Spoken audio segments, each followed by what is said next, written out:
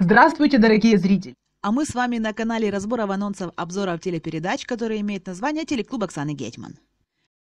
Вы на канале Телеклуб Оксаны Гетман, и мы с вами поговорим о следующем выпуске пост-шоу проекта «Холостяк. Как выйти замуж» на телеканале СТБ. И я, как всегда, прошу вас написать, кто ваша фаворитка, не изменилось ли у вас мнение. А тема у нас все та же – маски в отношениях, и нельзя было не позвать на сцену, раз такая тема, Викторию. Ведь она явно говорила о масках, и после этого ее с проекта и удалили. Был показан сюжет о том, как она нравится, ей не нравится, она все равно соглашается с Мишей.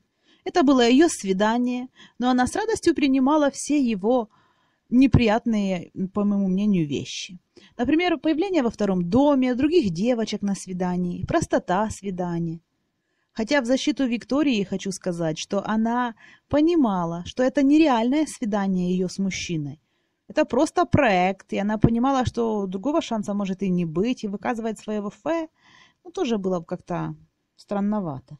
Ведь она была не уверена, нравится она Мише или нет. Это же всего лишь проект, а не реальное свидание, где тебя приглашают, и ты уверена, что мужчина за тобой ухаживает именно за тобой, а не потому, что ты участница проекта. Это тоже аргумент. А ваше мнение какое? И вообще, какая холостячка вам нравится больше всего?